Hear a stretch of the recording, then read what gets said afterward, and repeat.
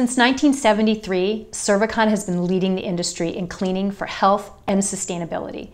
Our services in healthcare are called environmental services because of the clear connection to patient care and healing. Simply, our work helps people to heal.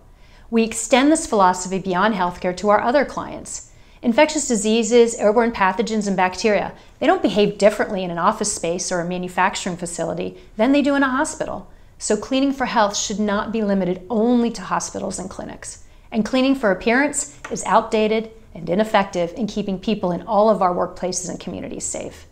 To ensure the highest level of care and commitment, our teams are extensively trained environmental service professionals. We are the front line of protection of the communities for which we care. Servicon is committed to providing healthy environments for all of our clients, our communities, and for our team members to thrive and grow.